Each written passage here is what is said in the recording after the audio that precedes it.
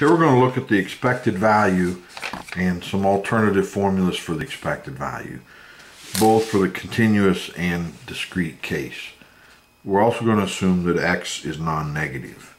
And let's first show that the expected value is equal to the integral from 0 to infinity of 1 minus f of x dx, sometimes called the survivor function. Okay, let's let's start. So here, expected value of x by definition is the integral of x f of x dx. And then if we rewrite this x as the integral from 0 to x dt, so there's an inherent 1 there, and then when you take the antiderivative of 1, you just get t, and then when you um, plug in the values x and 0, it leaves just x. So from here to here, nothing has changed. So then we're going to take away these brackets in the next step. And just we have a double integral, and we're integrating from t for the t world first and then the x world. And so if we look at the x and t, we're, we're not in this region here, we're in this region. And if we're integrating t first from 0 to x, and then x goes from 0 to infinity. So this is the this is the region that we're integrating over down here. So if we want to switch these orders of operations, integrate x first and then t, x would go from t to infinity and t would go from 0 to infinity. I mean x would go yeah, x would go from t to infinity and t would go from 0 to infinity. So that's what we do. We switch these, the, the order of op, uh, integration, and we get this. But if we look at this piece right here, that's just the probability that x is greater than t. Well, the probability that x is greater than t, and remember that we're in the continuous world, so that equal sign doesn't really play a part, is 1 minus f of t, which is this. And now t is just a dummy variable, so we, uh, we, can, we can put an x there, and then that's what we were here to show. Now let's look at the discrete case. And we want to show that the expected value is equal to the sum of the probability that x is greater than i.